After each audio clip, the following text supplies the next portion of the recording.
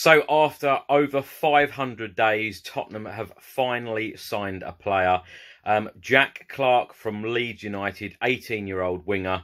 Um, absolutely delighted with this signing. Um, he has been tipped for, uh, you know, one for the future. Um, Gary Lineker actually uh, tipped him to be um, an exceptional player for the future. So highly delighted to uh, to have signed him.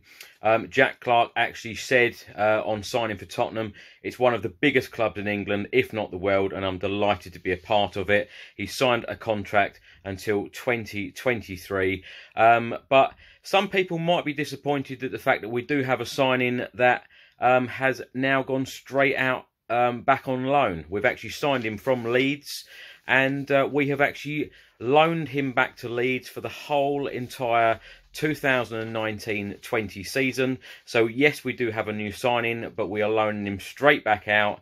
Um, so he won't be available um, for Tottenham um, for this this coming season. Um, what do we know about Jack Clarke? Um, Jack Raymond Clarke, he is five foot eleven. He is a winger. He can also play as a forward. He is age eighteen. Um, last season, he actually made twenty two um, league appearances for Leeds, um, scoring two goals. He also had an appearance in the FA Cup and one in the playoffs. So he, all in all, he, he made actually uh, 24 appearances for Leeds in the first team, scoring two goals, um, and he actually uh, went through the academy at Leeds as well.